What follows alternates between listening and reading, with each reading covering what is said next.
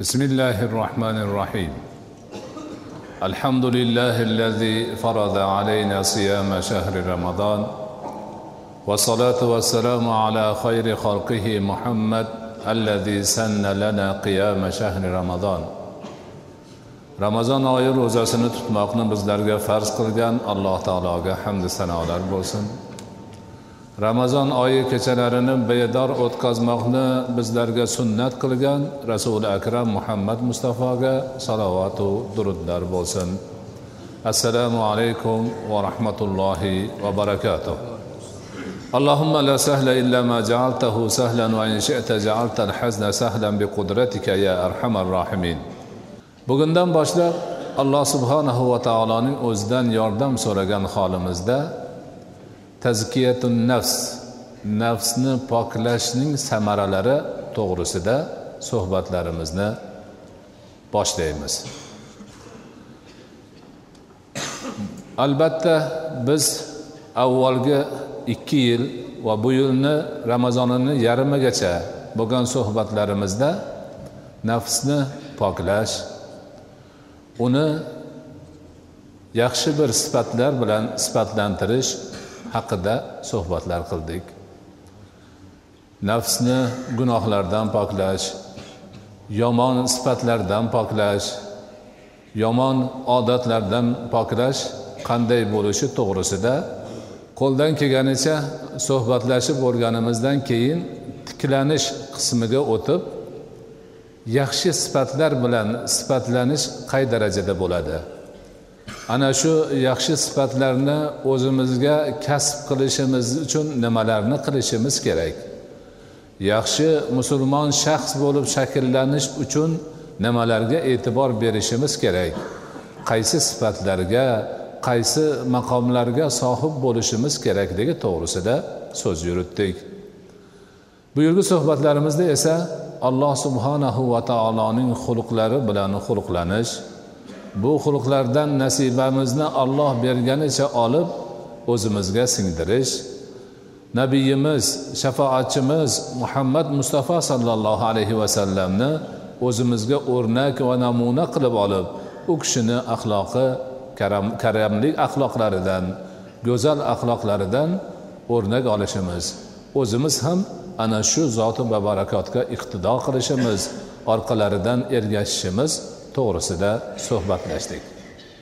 Albatta turlik yomon sifatlardan gunoh ishlardan kir chirkinliklardan pok bo'lgan inson yaxshi islomiy sifatlar bilan sifatlangan inson buyuk maqomlarga erishgan inson allohning xulqidan xulqlangan inson rasuli akram alayhissalotu vassalomga iqtido qilib u zoti va barakotning karamli axloqlaridan o'ziga singdirgan inson buyuk inson bo'ladi. Juda yuqori darajadagi oliy maqom bir inson bo'ladi. Bu insonni dili ham qo'li ham vujudi ham butun borlig'i ham hamma tarafi sharaf bilan yaxshilik bilan o'ralgan bo'ladi. Uni hamma tarafidan yaxshilik kutiladi. U hamma tarafdan yaxshilik qilishga tayyor bir inson bo'ladi. Ana shunday buyuk maqomlarga yetgan nafsini poklash nafsini tiklash allohning xulqi bilan xulqlanish rasuli akram alayhissalotu vassalomdan o'rnak olib yashash maqomiga yetgan inson farzi ayn farzi kifoya vojib sunnat mandub mustahab odob deb atalmish barcha diniy ko'rsatmalarni ixlos bilan to'la to'kis qiladigan hammasini o'rn o'rniga qo'yadigan hammasini yaxshilab ado etadigan yetuk bir insonga aylanadi. Ana shu yetuk inson endi o'zining nafsi poklanganligi oliy maqomlarga erishganligi allohning xulqi bilan xulqlanganligi payg'ambarining demak karamli axloqlaridan namuna olganligini samarasini hayotida ko'rishi kerak. Yaxshiligidan bahramand bo'lishi kerak xayrotidan foydalanishi kerak. Ana shunday sifatlarga ega bo'lgan mo'min musulmon banda xoliq taolo va maxluq bilan bo'ladigan muomalalari bo'ladigan munosabatlarini yaxshi anglab yetishi kerak. Ana shu xoliq taologa nisbatan bo'lgan burchi vazifasi mas'uliyati majburiyatini anglab yetishi kerak. Allohni yaratgan boshqa maxluqlari jumladan boshqa insonlarga nisbatan bo'lgan mas'uliyati majburiyati odobi axloqi munosabati va boshqa ta'limotlarini ham samarasini ko'rish kerak. Dunyodagi eng go'zal sifat inson sifatida shakllanishi kerak.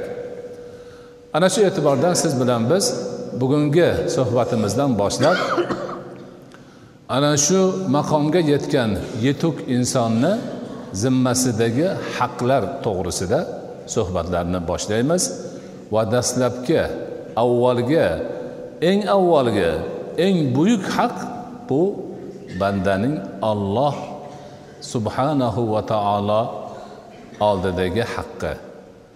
Ya'ni allohning bandani zimmasidagi haqqi to'g'risida suhbatlashamiz. Har bir banda odam zoti borki inson bolasi borki uning zimmasidagi eng avvalgi eng buyuk eng bardavom eng mas'uliyatli haq allohning ibodatidir. Bundan o'rkan haq yo'q. Bundan oliy maqom haq yo'q. Birlamchi narsa mana shu haqdir. Allohning bandadagi haqqidir. Jobir ibn abdulloh roziyallohu anhu aytadilar man rasuli akram alayhissalotu vassalomning ufayr deb nomlangan eshaklariga u zotni ortlariga mingashib ketayotgan edim. Ya'ni yo'lda rasuli akram alayhissalotu vassalom ulov eshak minib ketyaptilar. Eshakni nomi ufayr ekan. Mana hayvonlarga nom qo'yishni shu yerdan o'rganamiz rasulullohni tuyalarini ham nomlari bor mana hachirlarini ham nomi bor edi endi eshaklarini ham nomi bor ekan ufayr ekan. Jobir ibn abdulloh yosh sahobalardan olim sahobalardan go'zal sahobalardan rasulullohni orqalariga mingashib demak rasululloh shunday kamtar insonlar. Orqalariga demak sahobalarni mingashtirib olib eshakni minib safarda ketyaptilar. Yo'l yurib turib aytdilarki sen ollohning bandalardagi haqqi nima ekanini bandalarning alloh taolodagi haqqi nima ekanligini bilasanmi? dedilar. Rasululloh jobir ibn abdullohga ana shu savolni berdilar. Jobir ibn abdulloh roziyallohu anhu allohu va rasuluhu a'lamu dedilar.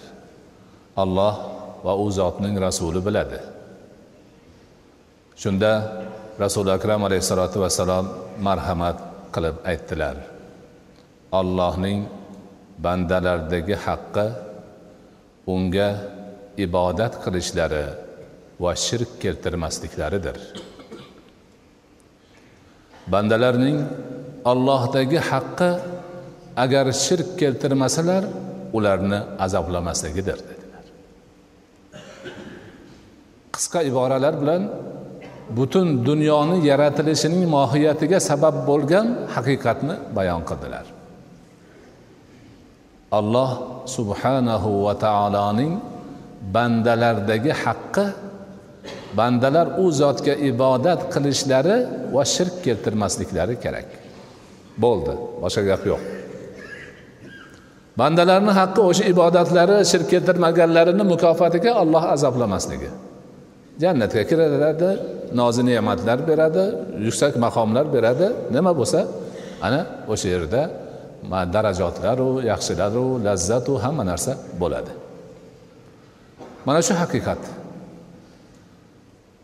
bu buyuk haqiqat buni siz bilan biz bitta hadisni tarjimasida osongina tushunib olib o'tiribmiz lekin o'zi aslida olganda buyuk haqiqat alloh subhanahu va taolo qur'oni karimda marhamat qiladi auzu billahi minash shaytonir rojim bismillahi rohmanir rohim وما خلقت الجن والإنس إلا ليعبدون من إنس jin va inslarni faqatgina manga ibodat qilishlari uchun yaratganman.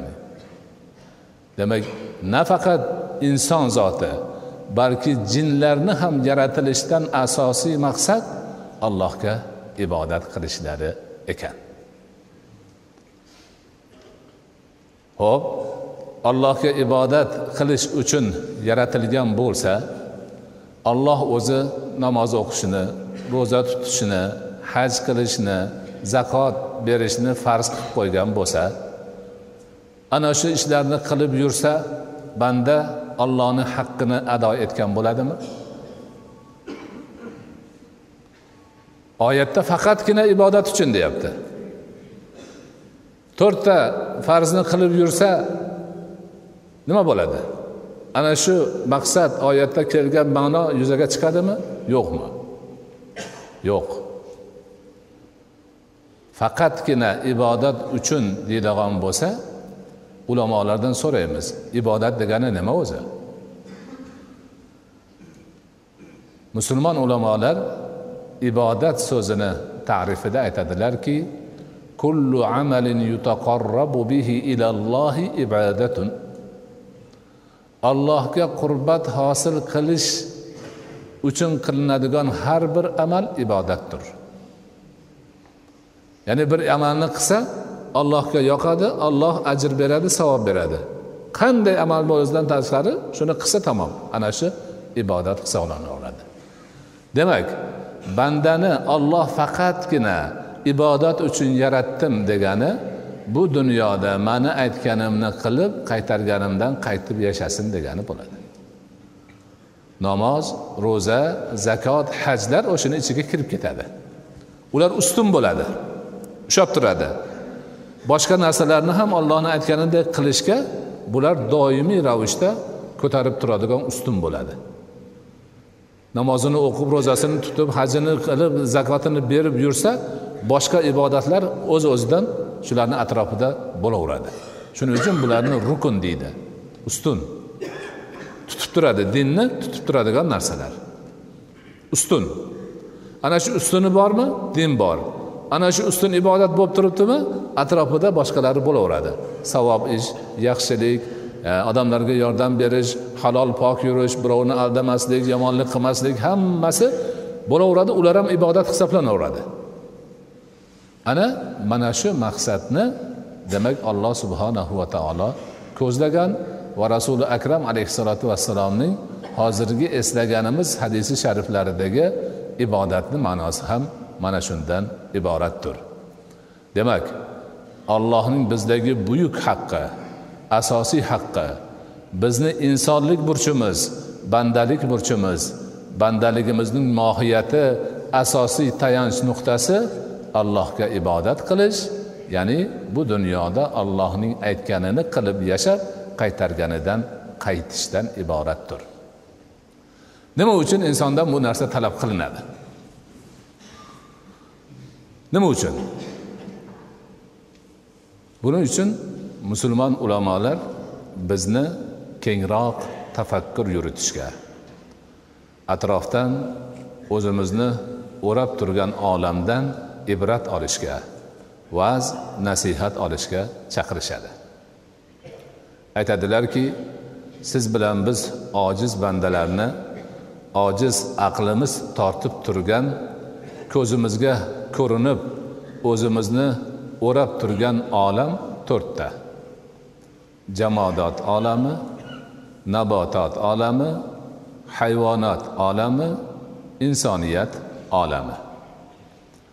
Jamodat olami deganimizda jonsiz narsalar olami. Tog' toshlar qumlar suv shunga o'xshagan nabotat ham hayvonot ham qo'shilmaydigan jonsiz narsalar olami. Bularni alloh subhanahu va taolo o'zi yaratgan va ularga har biriga o'ziga yarasha xususiyatlarni bergan. Ular bu dunyoda turar ekanlar ana shu xususiyatlari o'zlari xohlaydimi xohlamaydimi ishga tushadi. Va ularni yaratilishdan ko'zlangan maqsadni amalga oshirish yo'lida xizmat qiladi.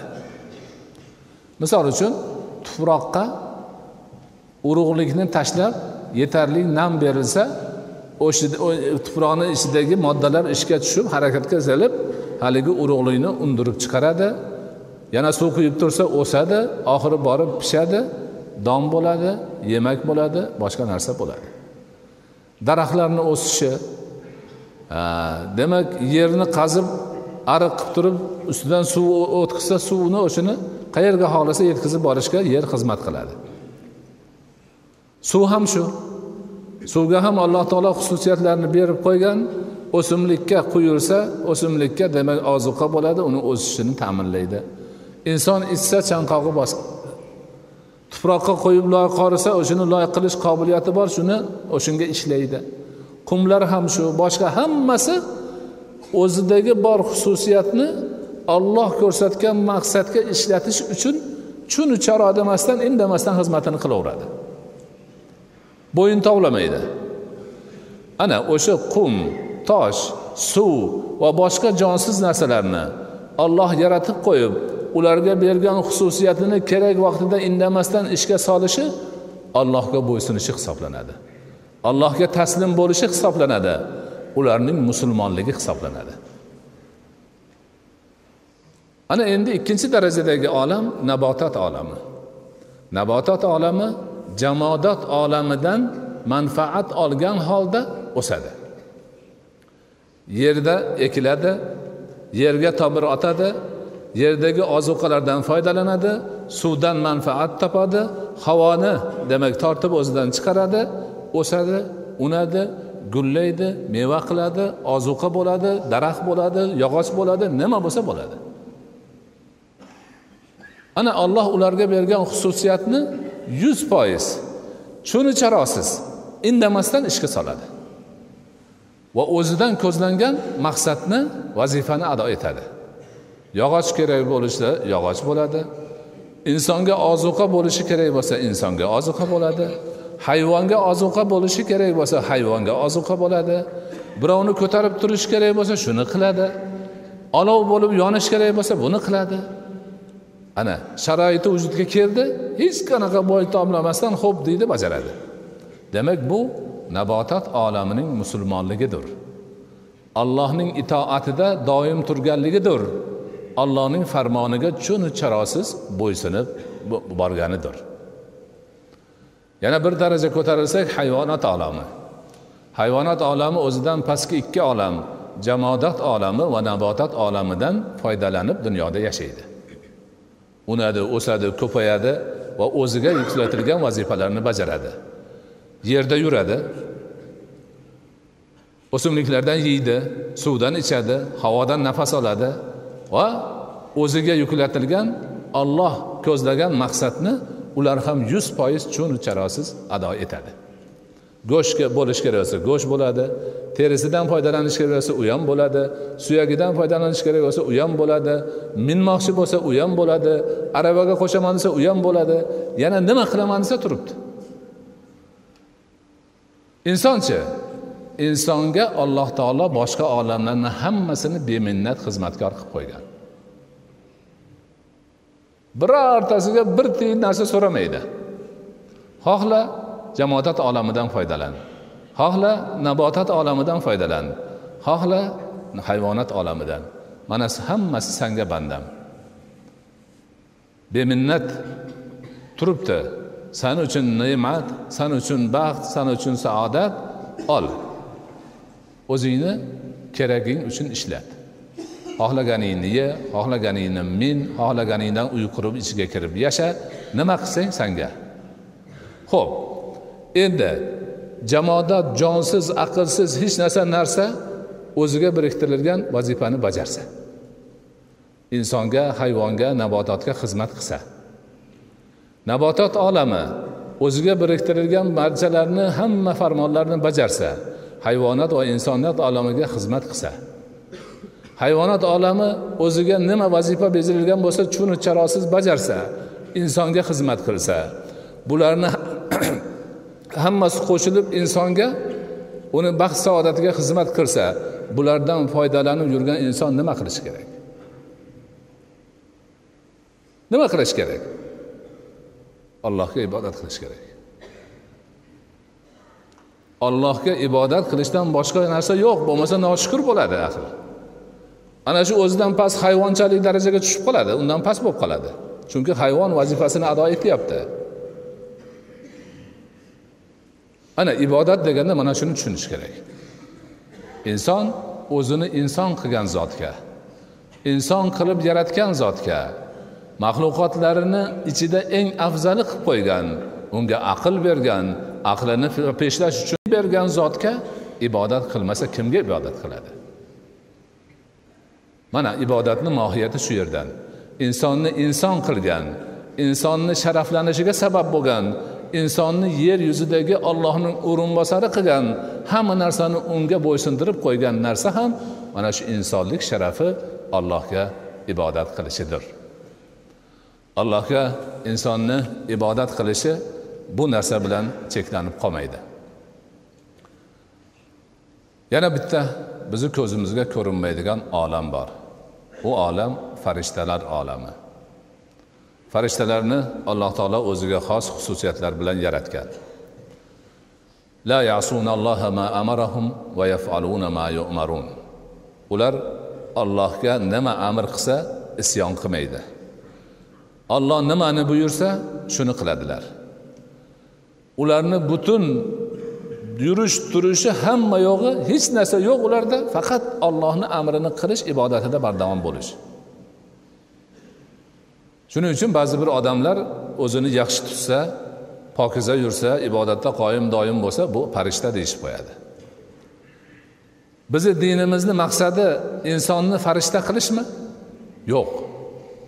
Farishtalar o'zi turibdi. Yangidan farishta yaratishga allohni hech nimasi yo'q maqsadi yo'q hikmati yo'q. Maqsad nima bo'lmasa? Maqsad insonni insonni farishtadan yuqori darajaga ko'tarish. Qanaqa qilib farishtadan yuqori darajaga ko'tariladi inson? Farishtalar avvalgi aytganimizdek o'zi yaratilgani shu ularda gunoh qilish qobiliyati yo'q. Ularda shahvat yo'q. Oziq ovqatga hojat yo'q mansab yo'q dunyo yo'q a obro' talashish yo'q. Yo'q ularda umuman yo'q narsa bu narsa. Shundoq yaratib qo'ygan yaratilganicha yuraveradi. Insonchi insonda shahvat bor. Insonda nafsi havo bor. Insonda ovqatga qiziqish ovqat bandaligi bor. Mansabparastlik bor. Dunyo to'plash bor. Bola chaqa qilish bor. Hammasi hoyi havas to'lib yotibdi. Farishtalarda bu narsalar yo'q. Inson ollohni amrini tutib aytganini qilib qaytarganidan qaytib havoyi nafsini yengsa shahvatini yengsa mansabga bo'lgan qiziqishni yengsa dunyoga bo'lgan qiziqishni yengsa hammasini hammasini yengib faqat ollohga aytganidek yashab tursa bu albatta farishtadan yaxshi inson bo'ladi. Shuning uchun aqida ulamolarimiz aytadi. Farishta afzalmi inson afzalmi? Desa farishtalarni maloikalari afzal kattalari. Lekin oddiy farishta bilan insonni solishtiradigan bo'lsak insonni ollohning ibodatini qilib to'la to'kis musulmon bo'lib yurgani farishtadan afzal. Ana demak ibodat ibodat katta ma'nodagi ibodat. Allohning aytganini qilib qaytarganidan qaytib bu dunyoda yashash insonni farishtadan yuqori darajaga olib chiqadigan bir maqomdir. Ibodatni ulug'ligi shu yerda. Ibodatning buyukligi shu yerda. Shuning uchun siz bilan biz hammamiz banda degani abd degani. Arabchasiga abd deydi. Abdun ibodatun ikkovi bir o'zakdan olingan narsa. Demak biz bandamiz abdmiz ollohni qulimiz ollohga qulluq qilishimiz kerak. Ana shunda farishtadan afzal holatga chiqishimiz muayyan narsa aniq ochiq oydin narsa demak ibodat bu insonni yelkasiga yuklangan og'irlik emas. Ibodat bu insonni vaqtini oladigan bir fursat emas. Ibodat insonni bir narsaga majburlaydigan holat emas. Balki ibodat bu sharafdir insonni sha'nidir insonning ulug'ligidir buyukligidir ko'klarga ko'taradigan farishtalardan afzal qiladigan omildir. Shuning uchun ibodatni sharaf deb bilish kerak. Allohning buyuk ne'mati deb bilish kerak. Va ibodat qilganlikka ham qo'shimcha yana shukur qilish kerak. Alloh o'ziga ibodat qiladigan bandalarini qatoriga qo'shib qo'yganiga tinmasdan shukur qilish kerak. Rasuli akram alayhissalotu vassalom aytadilar inna aqrabu ma yakunul abdu li robbihi va huwa fis salati va sajidun. Bandani ollohga eng yaqin bo'lgan holati namozdagi sajda vaytidadir deydi. Namozdagi sajdaga turganda bosh qo'yganda banda ollohga eng yaqin bo'lgan holati bo'ladi. Ana ibodatni ulug'ligi ibodatni bir turini insonni qaysi darajaga ko'tarishi. Mana hozir biz e, to'rt rakat farz o'qidik ikki rakat sunnat yana to'rt rakat nima o'qidik? Tarovih o'qidik. O'n rakat. Yigirma marta allohga eng yaqin holatga kirdik. Bu baxtni kim beradi? Qayerdan bo'ladi? Ibodat bo'lmasa qayerdan topiladi buni? Ana shu. Demak barchamizni zimmamizdagi eng buyuk haq birlamchi haq asosiy haq allohning haqqi ibodat haqqidir. Mana shu haqni ado etishga shu haqni sharaf bilan bajarishga biz doim tayyor turishimiz kerak harakatda bo'lishimiz kerak.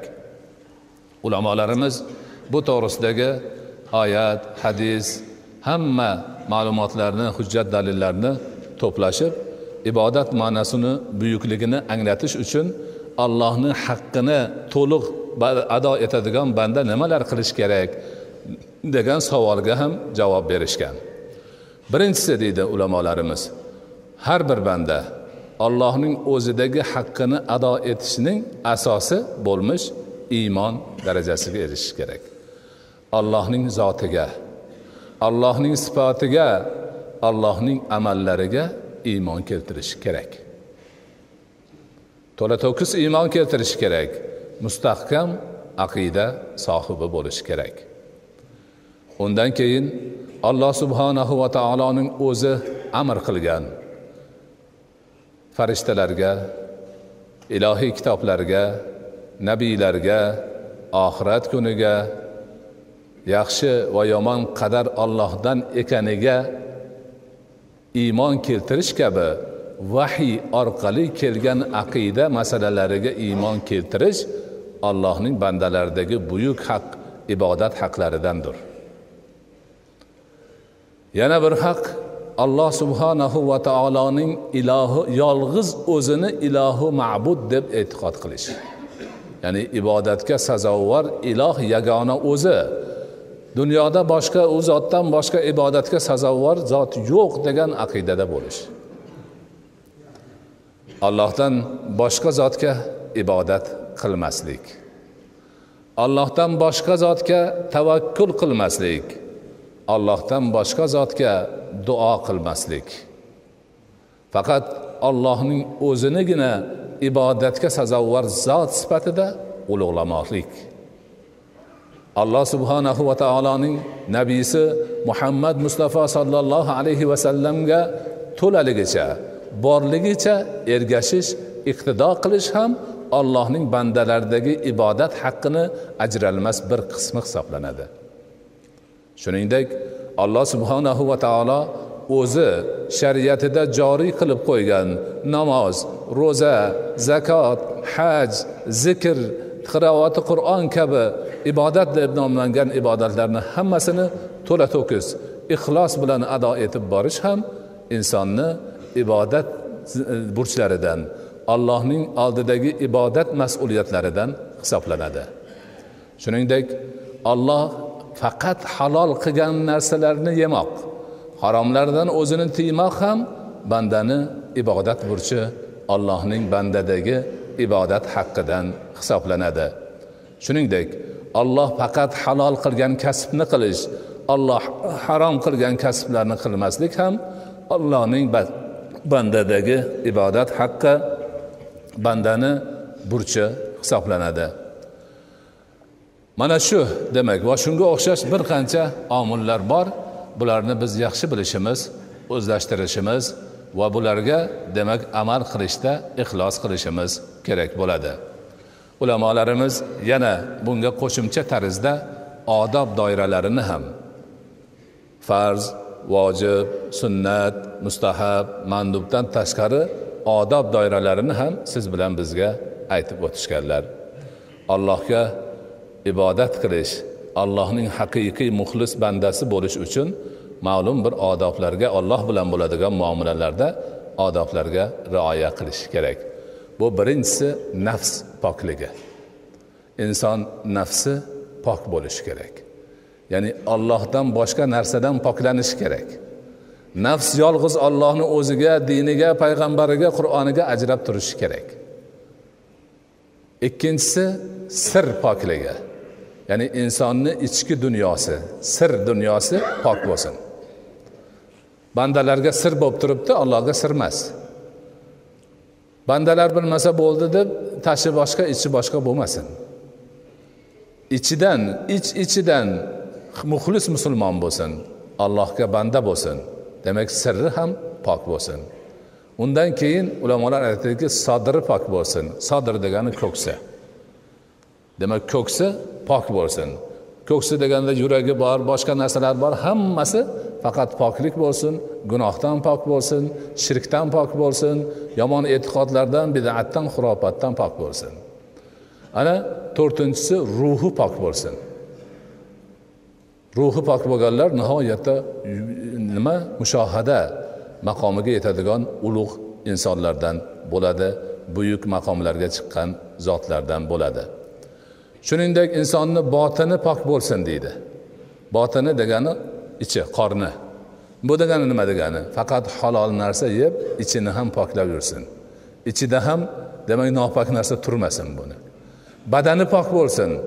Ya'niki badanini hammasi shahvatdan gunohlardan boshqa narsalardan pok bo'lsin. Doim pok bo'lsin. Ana shunda nihoyatda zo'r bo'ladi. Ko'zi pok bo'lsin. Qo'li pok bo'lsin. Va doimiy ravishda yaxshilikdan beparvo qolmaslik harakatida bo'lsin. Va o'tgan azizlarimiz kabi yaxshilik qayerda kelsa shuni qilishga doimo tayyor tursin deyiladi. Insonni har bir a'zosi mas'uldir. Insonni har bir a'zosida mas'uliyat bordir. Mana shu mas'uliyatlarni to'laligicha ado etish ham allohning ibodat haqqini odoblaridan hisoblanadi. Misol uchun insonni ko'z odobi ko'zi bilan faqat halol va savobli narsalarni ko'rsin. Ko'zini haromdan tiysin ko'zini noshar'iy nopok narsalardan tiysin. Faqat yaxshi narsalarga ishlatsin qo'lini odobi demak qo'li bilan faqat halol narsani ushlasin. Savob ishni qilsin haromni ushlamasin e, gunoh ishlarga qo'lini urmasin. Hech qanaqa demak boshqa bir taraflarga qarab ketib qolmasin. Oyog'i ham shundoq boshqa a'zolari ham shundoq hammasini faqat pok olloh ko'rib turibdi olloh bilib turibdi olloh hisobini kitobini qilib turibdi degan e'tiqod bilan harakatda bo'lishi kerak.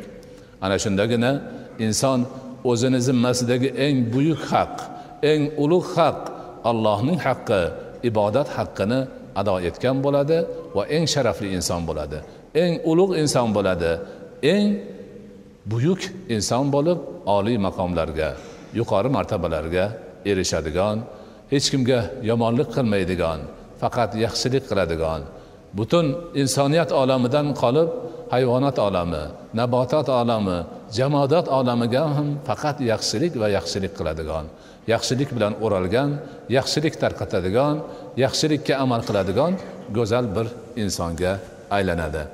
Alloh subhanahu va taolo barchalarimizni robbimiz alloh subhanahu va taoloning bizdagi buyuk haqqi ibodat haqqini sharaf bilan ado etish baxtiga muyassar qilsin bu yo'lni bizga oson qilsin bu yo'lda yurishimizda o'zi madadkor bo'lsin qalblarimizni pokligini ta'minlasin. Doimo yaxshilikda yurib yaxshilikda turishimiz yaxshilikni qilib yaxshilikning savobini olishimizni o'zi ta'minlagan bo'lsin. Rasuli akram alayhissalotu vassalom sahobai ikromlariga murojaat qilib aytadilar. Atadruna ma haqqul muslimi alal muslim?